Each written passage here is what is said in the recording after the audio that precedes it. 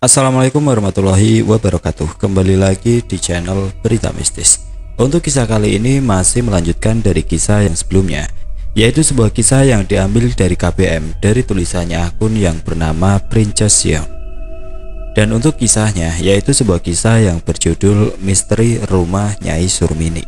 Dan untuk kali ini kita masuk untuk bagian akhir dari kisah ini Sebelum kita masuk ke ceritanya, tekan dulu tombol like video ini dan jangan lupa tekan juga tombol subscribe channel ini dan nyalakan juga lonceng notifikasinya agar tidak ketinggalan cerita-cerita baru dari channel ini.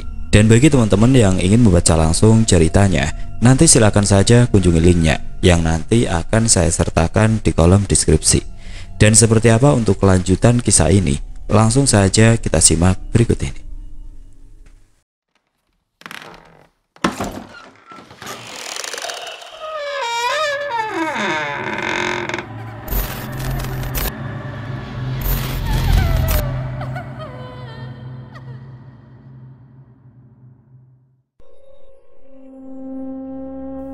Selama bertahun-tahun mengasuh Aksa sudah barang tentu Nyai Surmini paham betul bagaimana watak dan tabiat anak angkatnya itu. Banyak gadis, tapi tidak satu pun seistimewa gendis. Tidak perlu menyangkal karena Nyai Surmini bisa melihat jelas dari beliak mata Aksa. Jangan pernah melibatkan perasaan, tegas Nyai Surmini. Aku bermimpi menggendong bayi yang gendis lahirkan. Aksa tidak menampik ia sejujur-jujurnya pada Nyai Surmini. Tahu-tahu Nyai Surmini tertawa sumbang. Aneh saja rasanya mendengar Aksa berucap seperti itu. Padahal bukan kali pertama Aksa menggendong bayi. Doro tegaskan sekali lagi, jangan melibatkan perasaan dan tidak perlu menunggu janin itu lahir. Kita akan melakukan wingit purnama ini. Gendoro. Untunglah Nyai Surmini tidak perlu begitu mewanti-wanti, sebab Aksa memang sangat penurut. Hampir resah, Nyai Surmini pun kembali lega, tidak lama lagi akan mencapai puncak sesembahan mereka. Janin yang baru tumbuh itu akan dikeluarkan paksa, tidak masalah sekalipun belum sempurna bentuknya. Nyai Surmini telah memberi perintah dan semua akan terlaksana sesuai perintahnya. Jangan lupa Cak Bagus, Nyai Surmini berlalu tinggallah aksa seorang diri. Wingit, desahnya kemudian. Tidak lama ikut meninggalkan tempat itu, kembali ke kamar.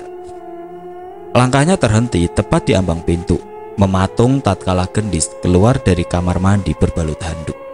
Aksa, panggilan lembut itu membuyarkan lamunan. Kenapa tidak mandi sore saja nyaiku? Ini kedinginan. Takut Aksa akan marah, segera gendis memakai pakaiannya. Sebenarnya aku malas mandi, soalnya dingin banget. Tapi kamu datang, apa boleh buat, aku harus mandi. Jawaban gendis membuat Aksa mengernyit, menambah satu lipatan di dahinya. Bukankah tidak ada hubungannya? Namun Aksa tidak menanyakan maksud sekalimat itu. Ia beralih duduk di kursi sana, sembari menyuruh gendis lekas berpakaian. Tentang mimpi yang mendatangi Aksa semalam, gendis jadi antusias untuk bertanya lebih detail lagi. Tidak masalah walau nanti Aksa akan gusar oleh pertanyaan-pertanyaannya. Tanpa ragu Gendis duduk di samping Aksa yang masih sibuk dengan gawainya. Aksa, anak kita laki-laki atau perempuan?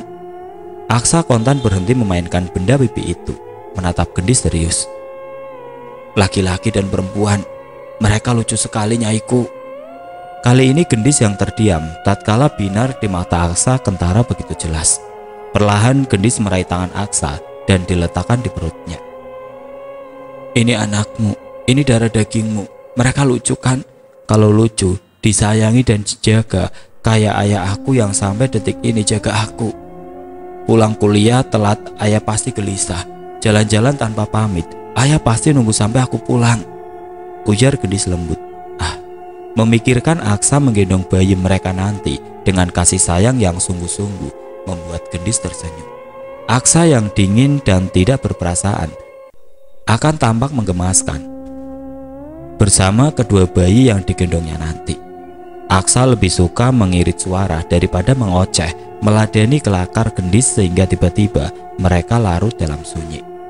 Tatapan Aksa tidak berpindah sedikit pun pada wajah gendis yang semakin hari semakin cantik saja. Aura keibuan perlahan-lahan sudah tampak pada dirinya. jadilah wanita yang kuat, walau tanpa aku nantinya. Sekali menyahut, Aksa malah mengeluarkan kalimat rancu itu. Belum Gendis menjawab, keributan yang terjadi di rumah besar membuat Aksa seketika berjingkat bangun dari duduknya. Sejurus kemudian banyak orang-orang berseragam membawa senapan laras panjang menghambur ke segala penjuru. Polisi. Gendis pun terkejut atas kedatangan para aparat negara itu. Lantas matanya berpindah pada Aksa yang bergeming tanpa gelinjang. Seluruh tempat digeledah termasuk kamar Aksa. Ketika pintu terhempas, Aksa sudah menghimpun tenaga dalam sembari menggumam mantra. Keabi, Aksa sontak menoleh pada Gendis ketika mendengar seruan itu membuat semuanya saling melempar pandangan penuh keterkejutan. Sekitar tujuh orang mengitari Aksa dengan mengacungkan senapan laras panjang itu ke arahnya. Dia kakakmu? Tanya Aksa pelan. Gendis tidak menyaut. Ia hanya dia membisu, memandangi Aksa penuh cemas dan ketakutan. Gendis? Tidak pikir panjang, Abimana menarik Gendis yang berdiri di belakang Aksa. Aksa, Bersamaan dengan itu mata gendis sudah meriak hangat. Bawa dia. Tita Pak Seno pada Aksa yang mematung di sana. Bukan Aksa tidak bisa melawan tujuh orang bersenapan laras panjang itu. Dengan segala ilmu yang diempunya.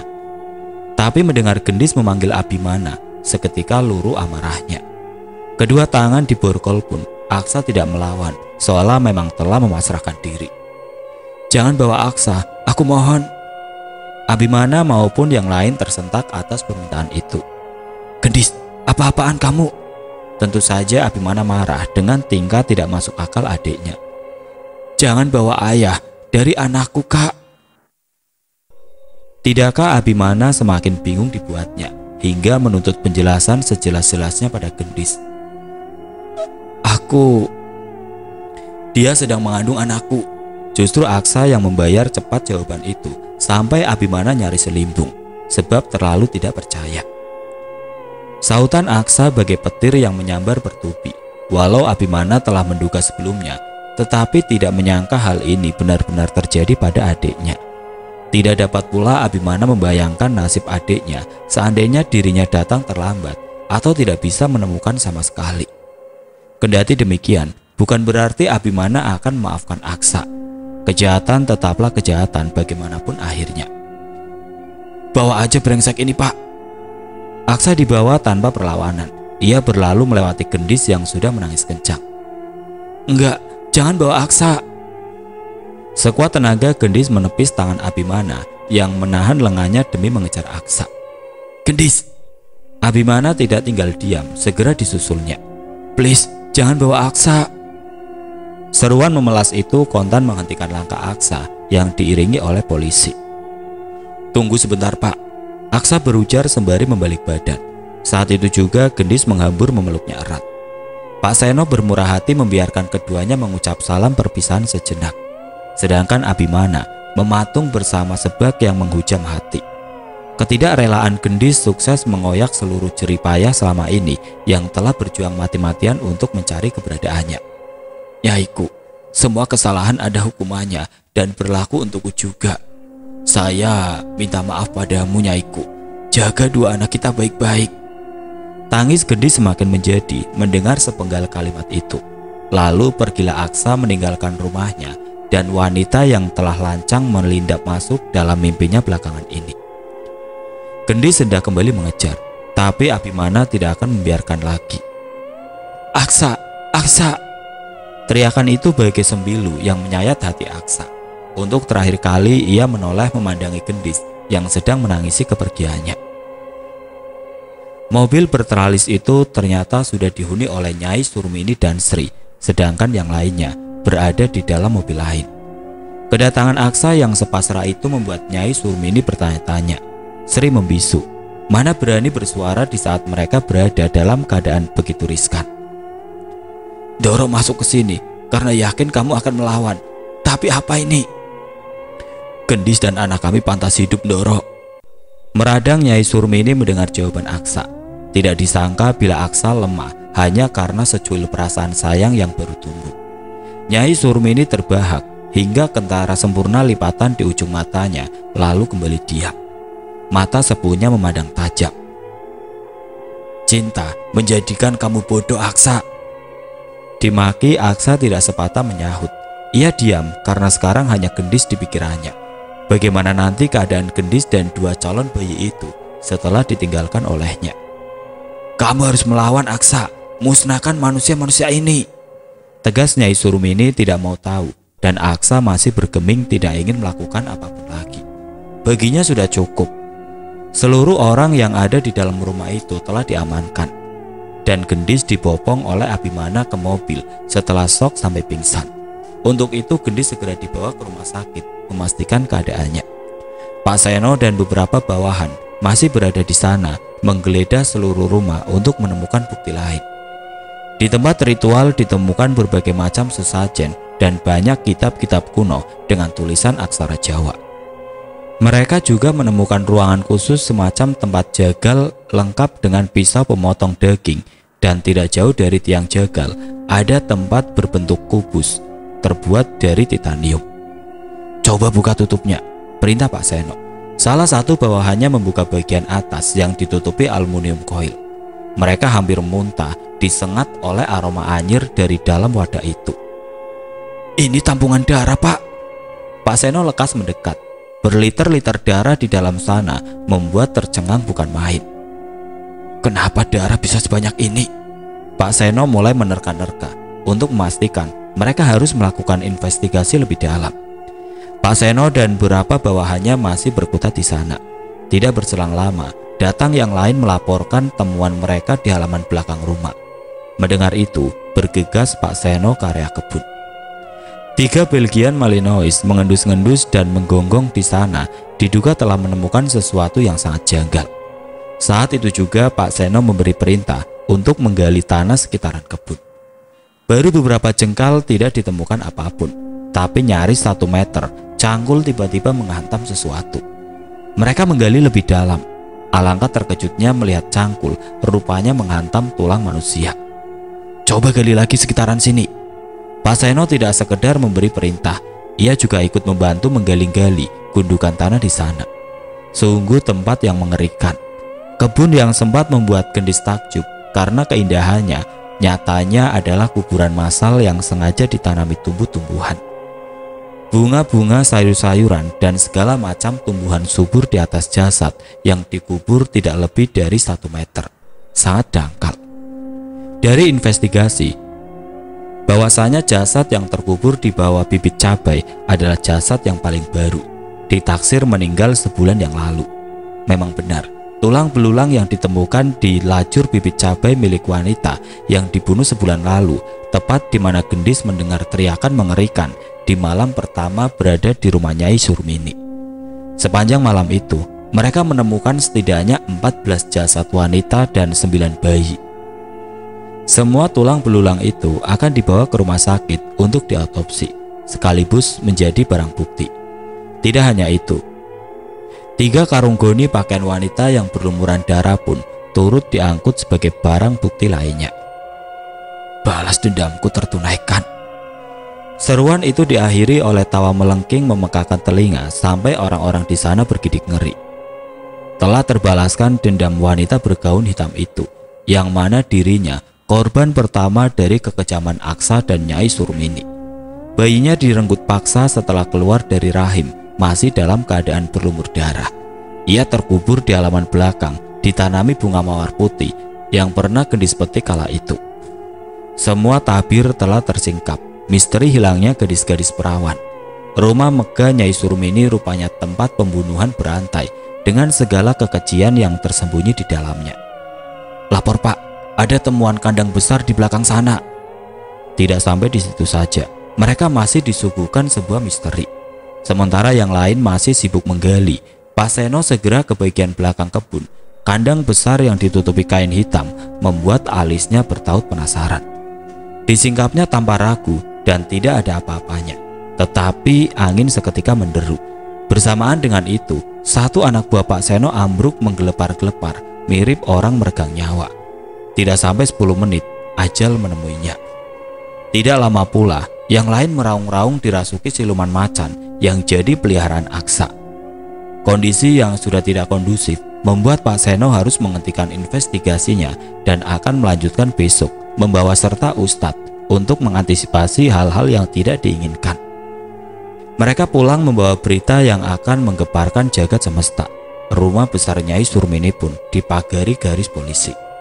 Sementara di rumah sakit, dengan mata sembab Danang menunggui anak bungsunya yang masih belum siuman. Semua cerita Abimana meluruhkan air mata Danang.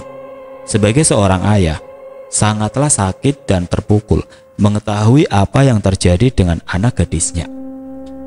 Kalau mama masih hidup, pasti nggak sanggup lihat gendis kayak gini ya. Danang tidak menyaut. Lidahnya terlalu keluh untuk menimpali. Di pagi yang hampir menjelang, gendis perlahan sadar dari pingsannya. Lelaki parubaya yang duduk di samping ranjang membuat gendis tontak bangun. Ayah, Abimana yang duduk di sofa dengan mata terpejam langsung membelalak. Dilihatnya ayah dan anak itu tengah berpelukan, saling menghamburkan air mata. Gendis minta maaf ya. Gendis tercekat saat itu juga. Danang tidak mengapa, Gendis telah ditemukan sudah cukup baginya. Ayah lega, kamu ditemukan, Dis. Setelah sebulan menghilang, tidak ada yang menyangka Gendis kembali pulang. Di mana Mama? Ketidakhadiran wanita yang telah melahirkannya menjadi tanda tanya besar. Danang menguraikan pelukan, lalu beralih menatap Abimana yang tertunduk suram. Rasanya tidak sanggup jujur pada Gendis tentang wafatnya sang ibu. Mama gak ke sini. Akhirnya pertanyaan kedua membuat Danang harus memberitahu yang sebenarnya, walau Peri menyambangi. Mama, Mama meninggal beberapa minggu lalu, Dis. Mama jatuh dari kamar mandi dan gak sadarkan diri sampai meninggal. Gak mungkin. Saat itu juga tangis gendis pecah. Ia meraung sejadi-jadinya di kamar itu. Kehilangan ibu adalah hal paling terberat dalam hidup. Kini tidak akan ada lagi yang memeluknya sehangat ibu dan menenangkannya sesabar ibu. Abimana hampir menangis gara-gara suasana duka yang datang menyelimuti mereka. Tatkala tangis belum mereda akibat kehilangan ibu, Gendis semakin menjadi teringat dengan Aksa. Kak Abi, Aksa dibawa ke mana? Tanyanya sesegukan. Dibawa ke Mapolres. Kenapa? Pusing belum reda, tapi Gendis memaksa ingin bertemu Aksa yang saat ini sedang berada di sel tahanan. Kamu itu gak usah yang aneh-aneh, Dis. Kenapa juga kamu masih mau ketemu? Manusia laknat itu, serga Abimana. Sampai mati rasanya Abimana tidak akan mempertemukan adiknya dengan Aksa. Bukan menurut, Gendis malah keke pada keinginannya sampai Danang dan Abimana terpaksa membawa Gendis keluar setelah dapat izin pulang dari dokter. Jeruji besi itu adalah pancang batas antara Gendis dengan ayah biologis dari janin yang sedang dikandungnya. Aksa duduk murung di sana bersama Sukirman. Mengetahui Gendis datang, Perlahan sirna seraut murung tadi berganti sendu. Gendis, yaiku, gumamnya. Gak usah mendekat. Aksa spontan mengurungkan langkahnya dicegah Abimana seperti itu. Kak, tolong, aku mau ngomong sama Aksa. Abimana mendengus gusar, mau tidak mau mempersilahkan adiknya, sedangkan Danang hanya diam menahan amarah manakala melihat Aksa secara langsung untuk yang kedua kali. Seandainya hukum negara tidak ada, maka Danang ingin melakukan hukum rimba untuk manusia-manusia sekecil Aksa dan komplotannya. Seiring gendis mendekat, Aksa pun ikut mendekat. Ternyata kamu tidak ada apa-apanya kalau sudah tertangkap basah kayak gini. Gak nyangka, bos aku rupanya psikopat gila. Caci Abimana. Aksa menoleh sekilas. Kilatan matanya tajam membunuh. Jika ingin, sekali genggam saja Abimana akan remuk dengan satu tangan. Namun ia mengalah dan melemah demi gendis agar tidak menangis dan bersedih lagi. Aksa merasa sudah cukup menyiksa batin wanita yang mungkin telah mencuri secuil hatinya yang tersembunyi. Maaf atas semua kesalahan yang telah aku perbuat padamu, Nyai. Aku memang tidak pantas disebut manusia lagi karena semua kelakuanku. Aku pun sadar semuanya sangat terlambat untuk memperbaiki. Tapi izinkan aku untuk memberikan nasab pada anak kita Walaupun aku tahu Kamu tidak sudi anak kita bernasab manusia buruk seperti aku Aku ingin meminta izin pada ayahmu Untuk menikahimu sebelum masa hukumanku dijatuhkan nanti nyaiku ingin menikahi Gendis. Yang benar saja, memang besar nyali Aksa ingin mengikrarkan pernikahan dengan wanita yang sudah berbadan dua itu. Abimana seketika meradang.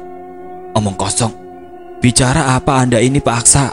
Hardiknya berapi-api. Darah dagingku yang ada di perut gendis, sahut Aksa tanpa ekspresi. Sekalipun itu darah dagingmu, sampai mati gak akan aku izinkan menikahi gendis. Anak itu pun gak sudi punya ayah modelan kamu. Tahan, Bi. Danang berusaha meredam kemarahan anaknya di saat dirinya juga sedang mati-matian menahan amarah yang bergejolak. Danang tidak ingin sampai terjadi keributan di sana. Bisa-bisa Abimana ikut di sel semalaman karena melanggar ketertiban. Aksa diam, matanya menyorot amat tajam, tapi setiap beralih pada gendis, seolah luruh marahnya karena makian Abimana yang bertubi tadi. Aku ingin menikahi gendis karena ketulusan, bukan yang lain. Jika kamu mengatakan aku jahat, maka kamu juga jahat. Karena menghalangiku untuk mengukuhkan niat baik ini. Berdebah, masih berani kamu ngomong sok bijak kayak gini. Kamu itu... Kak, udah, jangan ngomong gitu. Gendis menyela memohon dengan sangat agar kakaknya berhenti menghakimi. Aku tidak apa-apa nyaiku. Kemudian Aksa beralih pada Danang. Pak, saya minta maaf untuk semua kesalahanku. Tidak ada yang perlu dibahas lagi karena aku memang salah. Tapi di sini aku hanya ingin menikahi Gendis dengan sebenar-benarnya demi dia dan calon anak kami. Danang masih diam. Justru Abimana yang kembali menyauti Aksa berapi-api. Demi apa maksud kamu?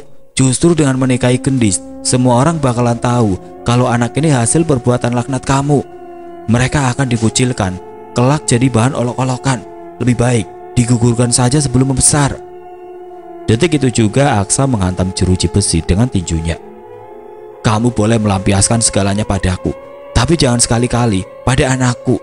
Ingat, aku bisa saja mematahkan batang lehermu dari sini Abimana. Seberapa besar kamu benci, anak di perut gendis tetaplah keturunanku. Sukirman mendekat berusaha menenangkan Aksa, sementara Abimana dipegangi oleh ayahnya dan gendis sudah menangis gara-gara pertengkaran itu. Abimana diseret paksa oleh Danang, membiarkan Gendis bicara empat mata dengan Aksa. Tidak berselang lama, Danang juga membawa Gendis tanpa berkata apa pun.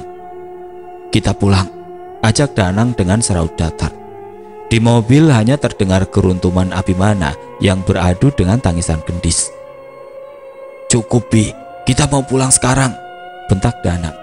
Tangisan Gendis pun berangsur reda dengan sesekukan meminta pada ayahnya untuk mengantarkan ke makam ibu. Kamu lagi hamil, jangan yang aneh-aneh Dis, sentak Abimana. Itu cuma mitos, dan Gendis tetap meminta ayahnya untuk mengantarkan ke makam. Tanpa menyaut, Danang membelokkan mobilnya menuju pemakaman umum di mana Anita sudah lebih dua minggu dikubur di sana. Kini di gundukan tanah itu, Gendis bersimpu menangis sejadi-jadinya memeluk nisan kayu bertuliskan nama ibunya. Mah, aku pengen ikut mama, bawa aku mah. Dikala hidup mencapai titik nadir, hanya keputusasaan yang membayangi. Danang mendekat meraih lengan gendis. Udah nak, biarkan mama tenang di sana. Kita pulang yuk. Ajak Danang terdengar begitu lirik. Gendis terpaksa bangun menuruti ayahnya. Mama, tapak kakinya meninggalkan jejak-jejak kesedihan di sana. Mereka pulang ketika matahari telah di atas kepala. Di ambang pintu, Gendis mematung memandangi suasana rumah yang tidak ada bedanya semenjak terakhir ditinggalkan. Hanya saja, ketidakhadiran ibu membuat rumah sunyi dan tidak sangat dulu. Perlahan Gendis melangkah ke kamar, mengurung diri di sana menjamu sepi. Bulir-bulir air mata seolah enggan surut dari pelupuk. Di ranjang dingin itu, ia duduk bertekuk membenamkan kepala di antara kedua lutut. Isakan yang terdengar mengundang perih di hati Danang sebagai seorang ayah. Manik hitam yang selalu berbinar bila menatapnya dulu mengisyaratkan sebuah harapan yang besar. Danang tahu itu. Ayah akan menikahkan gendis dengannya. Cetus Danang tanpa disangka. Abimana yang duduk di sebelahnya jadi terkejut. Enggak ya, gendis dianggap korban pemerkosaan jadi nggak perlu sampai nikah sama bajingan itu. Sudah cukup mental gendis dihabisi sama dia. Secara gamblang Abimana menyatakan ketidaksetujuannya. Sekalipun yang dikandung gendis anak Aksa, Abimana tidak akan membiarkan pernikahan itu terjadi. Ia tetap kekeh. Tidak semua hal di dunia ini harus selaras dengan kehendak kita, Bi. Gendis memang korban, tapi Aksa juga bersungguh-sungguh ingin menikahi Gendis. Walaupun sebenarnya tidak sah, sudah cukup dia menunjukkan tanggung jawabnya. Ayah bukan mendukung, tapi bila Gendis juga menginginkannya, ayah bisa apa selain mendukungnya? Abimana terhenyak. Dalam sekejap benteng keegoisannya runtuh gara-gara sautan itu. Aku nggak ngerti sama jalan pikiran ayah. Abimana pun meninggalkan ayahnya dengan perasaan kecewa. Danang tahu keputusannya bisa dinilai sepihak dan tidak masuk akal. Namun terlepas dari semua itu, Aksa tetaplah Aksa, ayah biologis dari janin yang dikandung gendis. Sekaligus akan menjadi cucunya kelak. Danang biarkan dulu Abimana yang sedang marah. Sekarang fokusnya terhadap gendis. Danang melangkah menuju kamar anak bungsu dan tampak anaknya itu sedang meringkuk dengan bahu terguncang. Sisi kasur yang bergerak membuat gendis meredam tangisannya. Lalu menoleh. Ayah. Lelaki parubaya berkacamata itu tersenyum getir lalu meraih tubuh anaknya memeluk erat. Ayah mengizinkan kamu nikah sama Aksa. Bisikan itu membuat Gendis membeku. Dikiranya sedang bergurau sehingga Danang kembali berujar untuk meyakini anaknya. Apa yang buat ayah jadi setuju? Tanya Gendis. Hanya sebuah senyuman yang menjawab pertanyaan itu. Gendis benar-benar tidak percaya sampai akhirnya hari itu tiba. Setelah sidang kedua digelar, Aksa benar-benar melantangkan ijab kobul untuk gendis. Amat sederhana pernikahan itu hanya digelar di musola yang ada di sana. Mengingat status Aksa sebagai tahanan, ia hanya seorang diri tiada yang mendampingi karena Nyai Surmini menolak mentah-mentah untuk hadir dan Aksa pun memang tidak ingin wanita itu hadir. Tangis haru pecah, Sumi memeluk erat keponakannya yang tidak kuasa menanggung air mata. Aksa memohon maaf pada seluruh keluarga Gendis, terutama Danang selaku orang tua, pun dengan keluarga korban yang lain, walau secara tidak langsung. Sebelum kembali menghuni bui, Aksa ingin menikmati sisa-sisa kebersamaannya dengan wanita yang telah utuh menjadi miliknya. Tidak jemu dipandanginya wajah gendis yang sebab itu. Di antara kedua mata tajamnya telah ia selipkan sejuta isyarat kelembutan. Nyaiku, seandainya waktuku tidak panjang, kamu harus kuat menjaga anak kita. Gendong mereka seolah aku memang ada di sampingmu. Air mata gendis kembali meluruh. Ucapan Aksa mengundang sebab di hatinya. Gak usah ngomong gitu, kayak kamu gak akan kembali lagi. Lirik gendis tidak suka sembari memukul dada Aksa pelan. Aksa tersenyum, senyuman yang tidak pernah ia sunggingkan untuk siapa pun kecuali untuk gendis. Gendis, satu nama yang telah berhasil menemukan hati kecilnya yang tersembunyi. Wanita itu Aksa bahasakan setelah disunting pesonanya di antara percikan kecil bui-bui kerinduan embun saja dan kepakan sayap-sayap merpati putih di atas senandung sang bayu yang berlarian kecil di dalam liputan semesta pagi.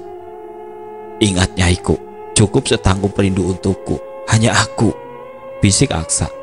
Gendis tidak menyaut, hanya isahkan yang terdengar. Semuanya berjalan secepat matahari yang bergulir dari timur ke barat. Sampai hari ini adalah sidang terakhir yang mana putusan untuk Aksa dan yang lainnya akan digelar. Di sana, Gendis mengikuti sidang didampingi ayah dan kakak. Hati resah bukan kepalang, menunggu detik-detik hakim membacakan keputusan. Kekejian Aksa membuat lobi persidangan dipenuhi media massa. Kini tibalah saatnya Aksa dikenakan pasal berlapis yang sangat memberatkan dirinya. Akhirnya, hakim melantangkan hukuman itu. Para anggota yang tertangkap dijatuhi hukuman kurungan penjara selama 20 tahun. Nyai Surmini dipenjara seumur hidup dan Aksa jadi terpidana mati.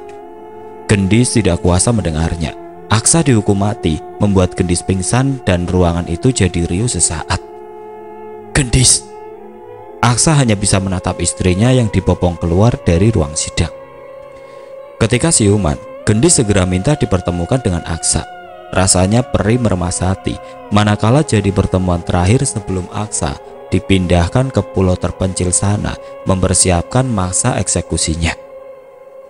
Perusahaan ditutup, seluruh karyawan diberhentikan dengan masing-masing pesangon. Rumah besar pun terbengkalai tanpa penghuni. Tidak sesiapapun yang ingin mendiami rumah itu, kecuali pada makhluk halus.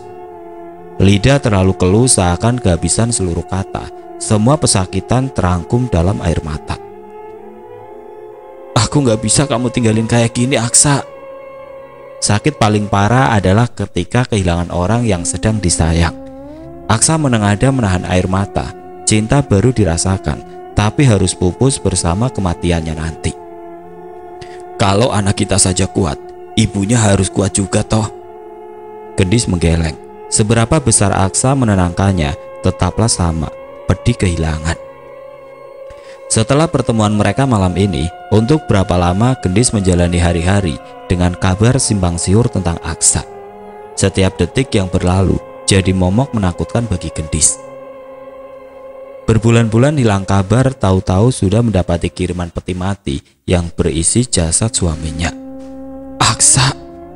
Ketika peti mati datang, Gendis sontak menghambur memeluk peti itu berderai air mata. Kesedihan menghabisi Danang di sudut bisu. Ia tidak sanggup membendung segalanya hingga menangis di samping anaknya. Hari itu jadi mendung kelabu. Kala musim gugur membentangkan kain selimut kelamnya pada sekeliling napas bunga melati layu.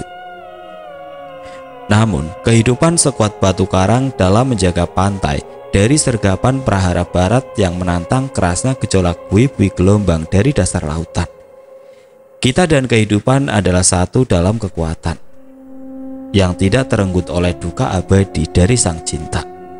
Aksa mungkin sudah tiada, tapi buah cintanya tetap tumbuh menanti kehadiran di dunia yang fana ini.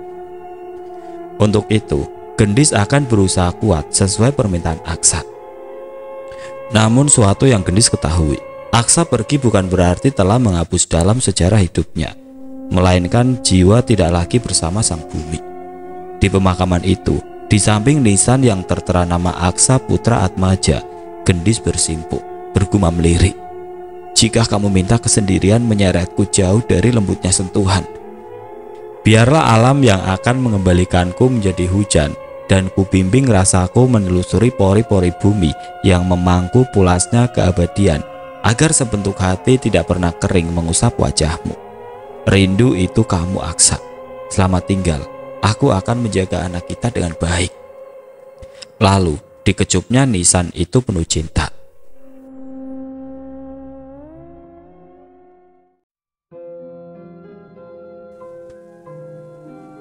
Oke teman-teman, sekian untuk cerita kali ini.